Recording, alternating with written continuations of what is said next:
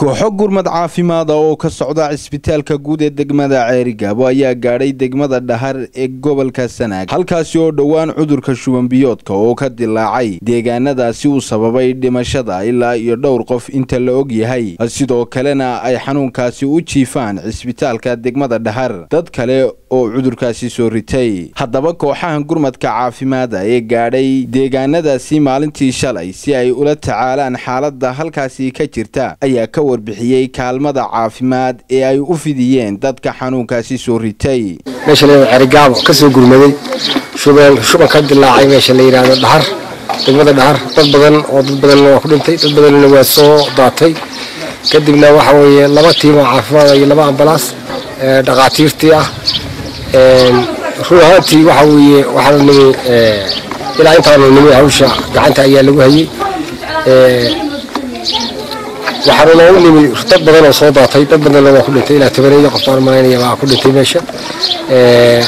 Dad badan oo jiifana waanu u nimi intii haddeer dhakhaatiirta ayaa ka warbixin doonta intii haddeer aanu joognayna dad badan baa soo daatay waxaan codsanayaa dowladda somalilan iyo ummadaha islaamka iyo cid kasta oo taakulayn karta halka ka soo taakulayn karta. Cid allah ciddii soo taakulayn karta. Oo hab bini aadanimo ku soo taakula dadka bini aadanka ah inay soo taakulayaan. Oo si fiican baa ilaahay inagu suurtageliyey wax dhintay intii aanu joognay haba yaraateena ma jirin. Baahida jirta imika baahida jirta imika waxa weeye beeshanadii waxa weeye beeshanada badan baa jooga xaafadihii ku jiraan weli isbitaalkii soo gaadhay. Waxaa loo baahanyay in difasha fiican loo sameeyo dadka weli biyihii ay ka cabiyeen oo biyo wasakhaysnaa ee ku jiray ceelasha ku jiray dhaamanka ku jiray marka waxaa la doonayaa sidii kuwaa looga hortegi lahaa. Kuwa imika waa la daweeyey laakiin weli faktarkii meesha problem ka soo baxayay weli wuu jiraa dhaxareed waana xaaladdu way degan tahay.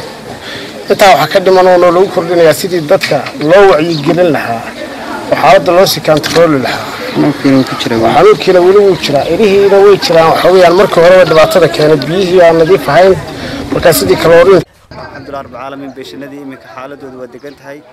Cudurkii weli magaalada wuu ku jiraayo dee wax loo baahan yahay dawo dheeraada in la helo iyo dhakhaatiirta dheeraada.